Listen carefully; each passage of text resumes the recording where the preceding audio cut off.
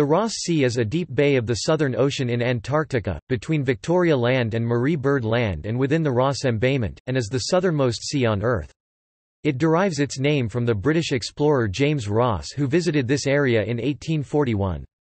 To the west of the sea lies Ross Island and Victoria Land, to the east Roosevelt Island and Edward VII Peninsula in Marie Byrd Land, while the southernmost part is covered by the Ross Ice Shelf, and is about 200 miles 320 kilometers from the South Pole. Its boundaries and area have been defined by the New Zealand National Institute of Water and Atmospheric Research as having an area of 637,000 square kilometers, 246,000 square miles. The circulation of the Ross Sea is dominated by a wind-driven ocean gyre and the flow is strongly influenced by three submarine ridges that run from southwest to northeast. The circumpolar deep water current is a relatively warm, salty and nutrient-rich water mass that flows onto the continental shelf at certain locations.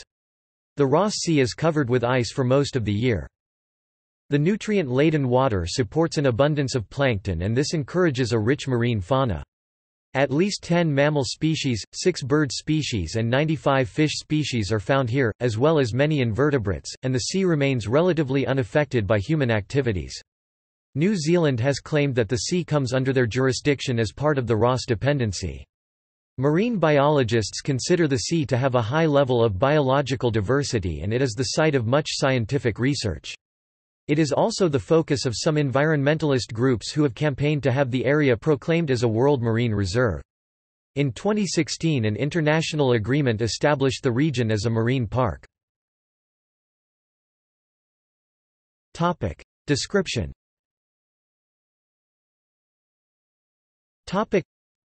The Ross Sea was discovered by James Ross in 1841.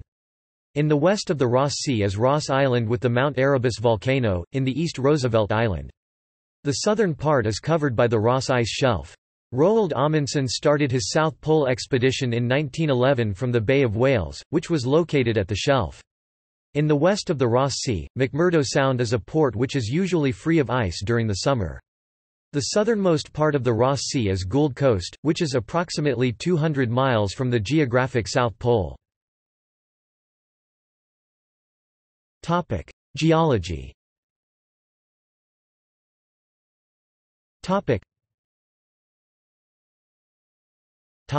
The continental shelf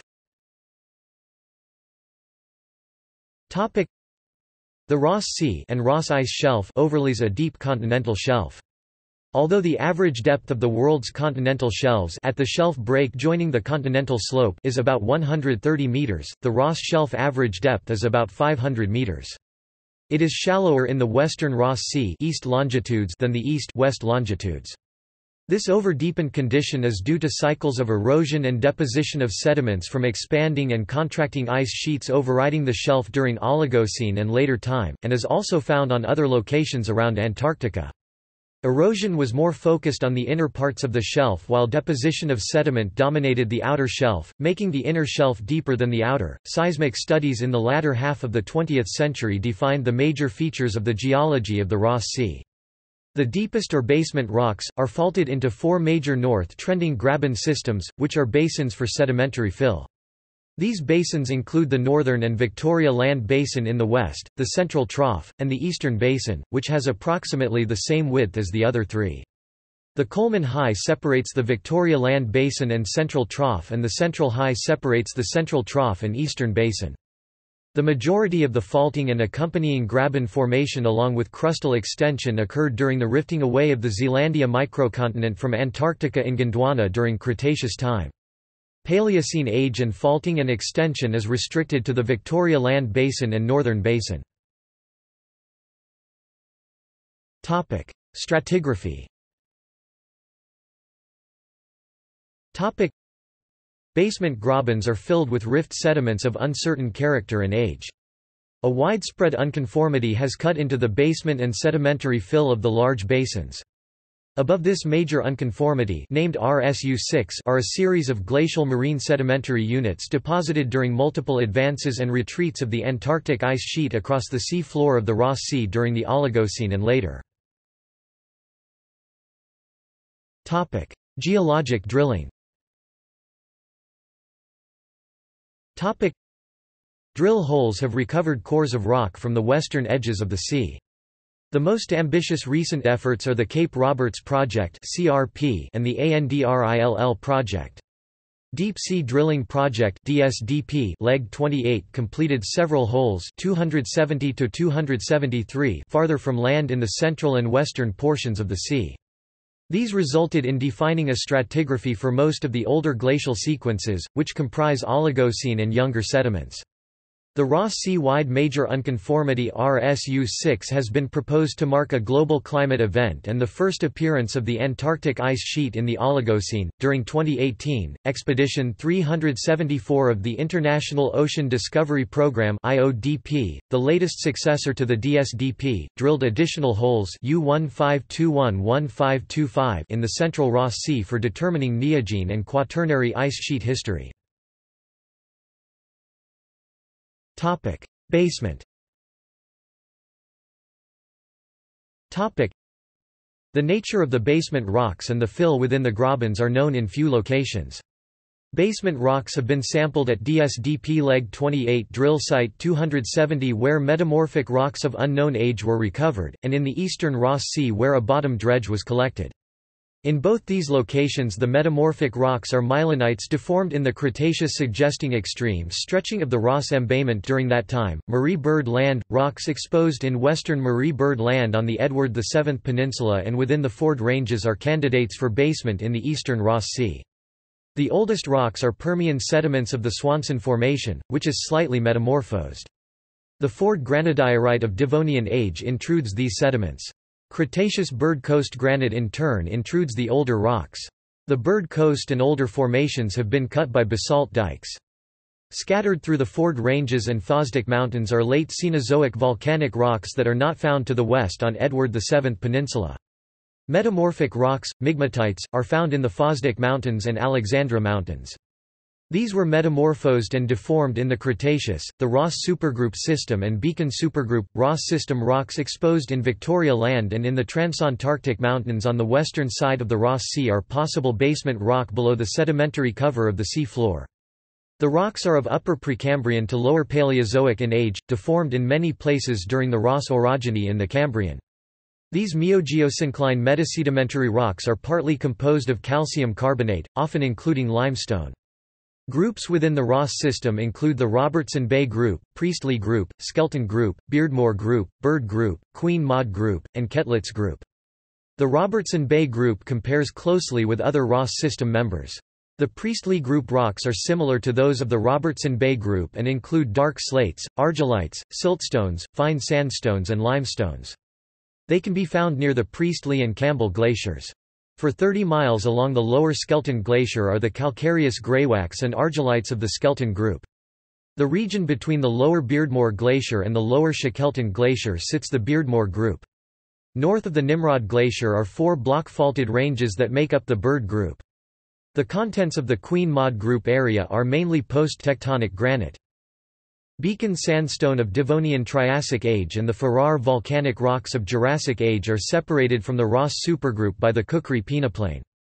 Beacon rocks are reported to have been recovered in the drill cores of the Cape Roberts project at the western edge of the Ross Sea. Oceanography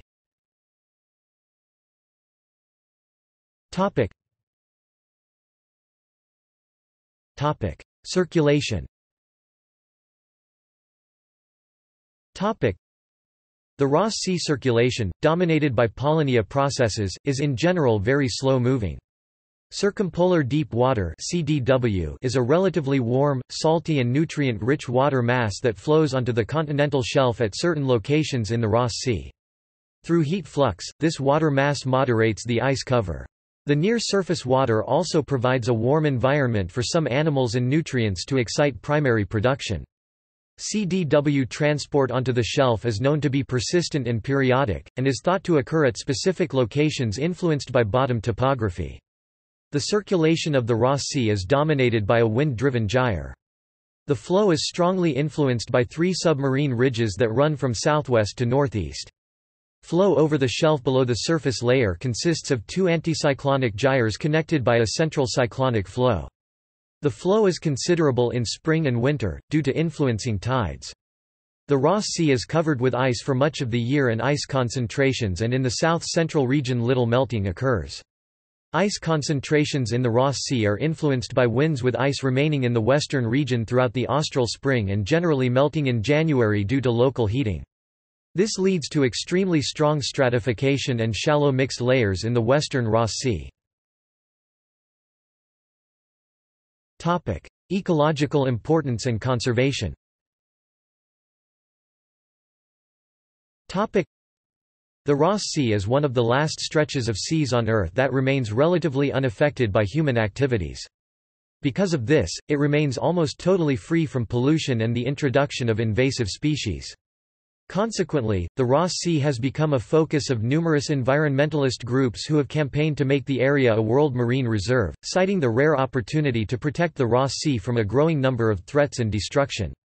The Ross Sea is regarded by marine biologists as having a very high biological diversity and as such has a long history of human exploration and scientific research, with some datasets going back over 150 years. Biodiversity the Ross Sea is home to at least 10 mammal species, half a dozen species of birds, 95 species of fish, and over 1,000 invertebrate species. Some species of birds that nest in and near the Ross Sea include the Adelie penguin, emperor penguin, Antarctic petrel, snow petrel, and South polar skua. Marine mammals in the Ross Sea include the Antarctic minke whale, killer whale, Weddell seal, crabeater seal, and leopard seal. Antarctic toothfish, Antarctic silverfish, Antarctic krill, and crystal krill also swim in the cold Antarctic water of the Ross Sea. The flora and fauna are considered similar to other southern Antarctic marine regions. Particularly in summer, the nutrient-rich sea water supports an abundant planktonic life in turn providing food for larger species, such as fish, seals, whales, and sea and shore birds. Albatrosses rely on wind to travel and cannot get airborne in a calm. The westerlies do not extend as far south as the ice edge and therefore albatrosses do not travel often to the ice pack. An albatross would be trapped on an ice floe for many days if it landed in the calm. The coastal parts of the sea contain a number of rookeries of Adelie and emperor penguins, which have been observed at a number of places around the Ross Sea, both towards the coast and outwards in open sea. A 10 meter (32.8 feet) long colossal squid weighing 495 kilograms (1091 pounds) was captured in the Ross Sea on February 22, 2007. Topic: Toothfish fishery. Topic: in 2010, the Ross Sea Antarctic toothfish fishery was independently certified by the Marine Stewardship Council, and has been rated as a good alternative by the Monterey Bay Aquarium Seafood Watch Program. However, a 2008 document submitted to the CCAMLR reported significant declines in toothfish populations of McMurdo Sound coinciding with the development of the industrial toothfishing industry since 1996, and other reports have noted a coincident decrease in the number of orcas. The report recommended a full moratorium on fishing over the Ross Shelf. In October 2012, Philippa Ross, James Ross' great-great-great-granddaughter, voiced her opposition to fishing in the area. In the southern winter of 2017, New Zealand scientists discovered the breeding ground of the Antarctic toothfish in the northern Ross Sea seamounts for the first time, underscoring how little is known about the species. Topic: Marine protected area. Beginning in 2005, the Commission for the Conservation of Antarctic Marine Living Resources commissioned scientific analysis and planning for marine protected areas in the Antarctic. In 2010, the CCAMLR endorsed their scientific committee's proposal to develop Antarctic MPAs for conservation purposes. The U.S. State Department submitted a proposal for a Ross Sea MPA at the September 2012 meeting of the CCAMLR. At this stage, a sustained campaign by various international and national NGOs commenced to accelerate the process. In July 2013, the CCAMLR held a meeting in Bremerhaven in Germany, to decide whether to turn the Ross Sea into an MPA.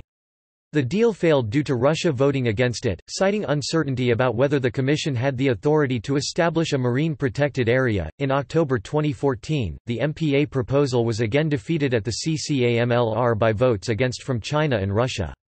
At the October 2015 meeting a revised MPA proposal from the US and New Zealand was expanded with the assistance of China, who however shifted the MPA's priorities from conservation by allowing commercial fishing. The proposal was again blocked by Russia. On 28 October 2016, at its annual meeting in Hobart, a Ross Sea Marine Park was finally declared by the CCAMLR, under an agreement signed by 24 countries and the European Union. It protected over 1.5 million square kilometres of sea, and was the world's largest protected area at the time. However, a sunset provision of 35 years was inserted as part of negotiations, which means it does not meet the International Union for Conservation of Nature definition of a marine protected area, which requires it to be permanent. See also. Topic. Beaufort Island. Iceberg B-15 McMurdo Station. Ross Canyon Ross dependency Ross Gyre Ross ice shelf. Topic. References. Topic. Topic. External links. Topic. Media related to Ross Sea at Wikimedia Commons Commission for the Conservation of Antarctic Marine Living Resources, New Zealand and United States Delegation, 2015. A proposal for the establishment of a Ross Sea Region Marine Protected Area J. Glausius, 2007, Raw Data, Beacon Bird of Climate Change. Discover Magazine. Gunn, B. ND, Geology The Ross Sea Dependency including Victoria Land Ross Sea, Antarctica, including the Ross Sea Dependency, the sub-Antarctic islands and sea, up to New Zealand from the pole. K. Hansen, 2007, Paleoclimate, Penguin Poop adds to climate picture. Geotimes. International Polar Foundation, 2007, interview with Dr. Stephen Emslie, The Adelie Penguins Diet Shift. SciencePoles website. C. Michael Hogan, 2011. Ross Sea. E. Dees, P. Saundry and C. J. Cleveland. Encyclopedia of Earth. National Council for Science and the Environment. Washington, D.C. Locarnini, R. A., 1995, The Ross Sea. Quarterdeck, Volume 1, No. 3, Department of Oceanography, Texas A&M University, College Station, Texas, North Korean boats caught fishing in conservation area. Radio New Zealand. Retrieved 7 April 2011 http www.antarcticocean.org International Campaign to Establish Marine Protected Areas in the Southern Ocean. 1 The Last Ocean, documentary film on the Ross Sea and the international debate over its fate